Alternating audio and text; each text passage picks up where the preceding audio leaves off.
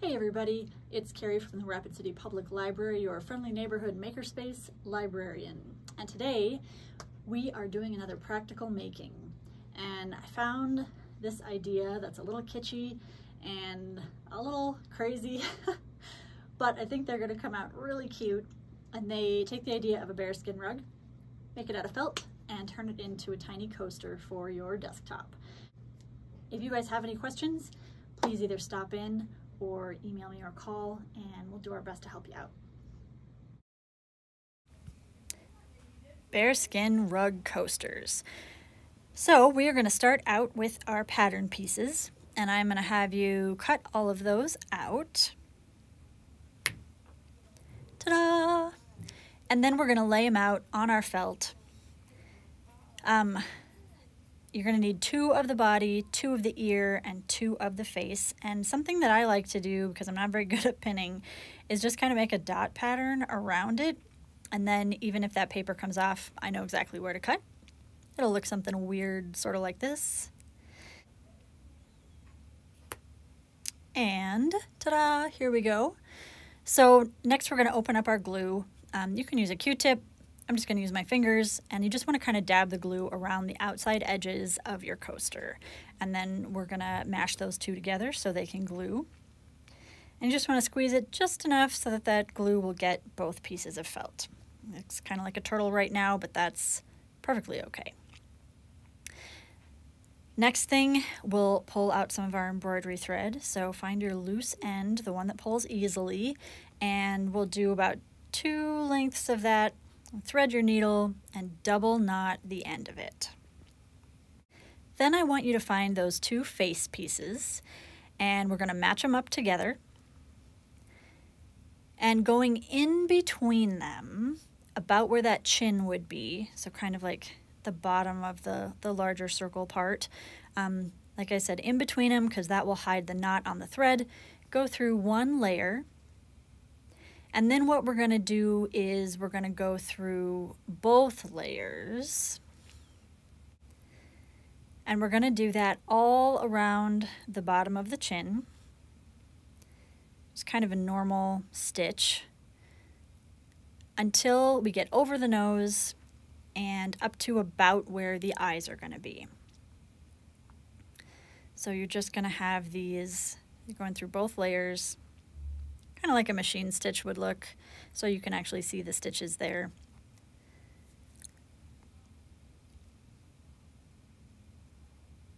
And like I said, up to where the nose is and around to where the eye is. And at that point, once you have all those stitches, that's where we're going to bring in um, the pattern piece labeled head. And as you can see, you've got one narrow end and one wider end. And we are going to take that wider end and it's basically going to fit in between our two face pieces, right where we have stopped sewing.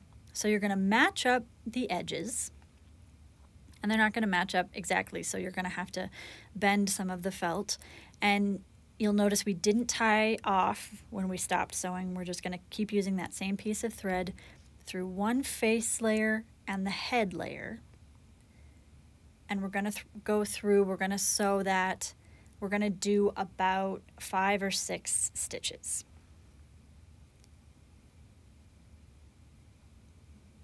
So basically we're going to sew up to the area that would be kind of the top of your bear head.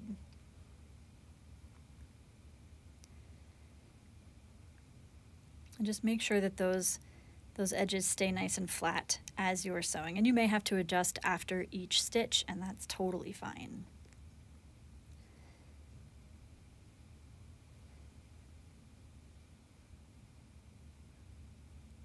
Again, just making sure that that stays flat along the top. Another reason to use felt is that it is nice and forgiving when you are sewing things like this through both pieces. Okay. And then you're going to take your ear piece and you're going to take that flat side of the earpiece, that flat top, and you're going to line it up with the curve on the face pattern and the edge of the headpiece. So three thick, just like a sandwich. And you're going to keep sewing in that same line, but you're going to do it with all three of those pieces. Make sure I go deep enough so the stitch doesn't pull out. There we go. And that won't take, you know, more than three or four stitches. Those ear pieces are tiny. But effectively, this is going to be the, the inside of our bear head, which is why we don't really care about those stitches being visible. But that's why we have laid the ear in there the way that we have. Okay. And after you sew in that earpiece, you're still going to keep going with the head pattern piece and the face pattern piece um, almost all the way around to where you started. Not quite that far because you have to leave enough room to turn it inside out. Um, but we're going to keep going with that.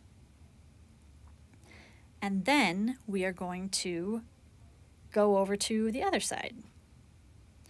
Um, and it's the same thing, a little bit trickier because you're mashing up a, a piece, kind of making it go in three dimensions when it sort of doesn't want to. So match up those edges again on the other side.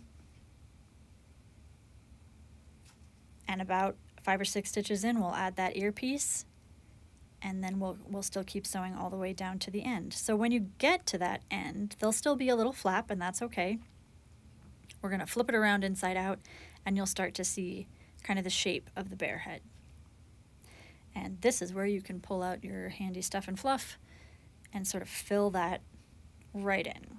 You can make it as full or as loose as you want, totally up to you. Just make sure you get some all the way out in that nose. I'm going to add a little bit more here. Okay. And once you've got that sort of stuff to your liking, you're going to notice that there is that flap piece. We're going to kind of tuck in the edges, tuck in the flap, and we're going to sew it all shut so there's kind of a flat spot on that bottom. And as best you can, you're going to sew, well, check to make sure it lays flat.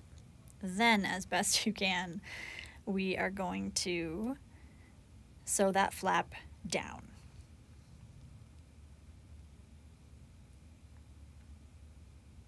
All around the edge.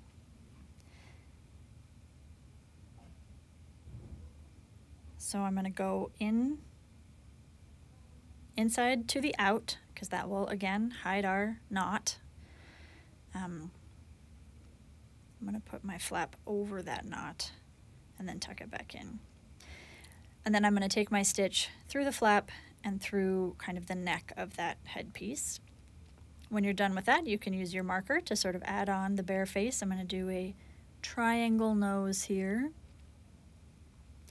And then just two dots for the eyes a little wider spaced than where all of your pattern pieces meet up. Starting to look like a bear. Then you're going to, excuse me, I'm going to flatten it just a little bit and then I'm going to sort of position it where I want so I know where I'm going to be sewing for my coaster. So once I kind of know where I want that headpiece to be, double knot my thread again.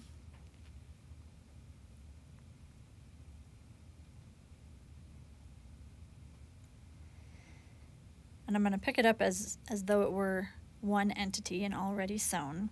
And you're going to go through that kind of neck flap and through the edge of the bottom of the bear's head. And on my example, uh, the one I did before this one to see if it would all work out. I actually had to, to resew it twice to get the placement I want. So again, felt is very forgiving, which is super nice when you're doing things like this that kind of awkwardly fit together. So through the flap, through the bottom of the headpiece,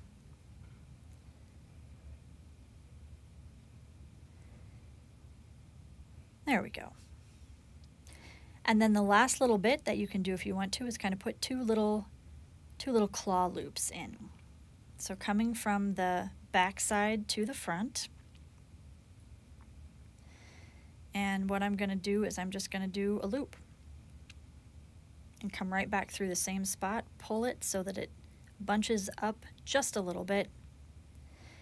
And then I'm gonna take a look on the back side, put my needle through so that I can scoot it over just a little bit. Only on the back side that stitch didn't come through to the front. And then come around again through the same hole two times and then pull tight to get that little that little claw. And then I can sew my knot in the end, trim down the pieces, and you can do that on the front too for sure, um, but on the back ones if you want as well. And there you go, Bear Rug Coaster. Thank you for following along. I hope that was enjoyable for you, and I hope to see you back next month with another practical making um, when we will be doing faux stained glass.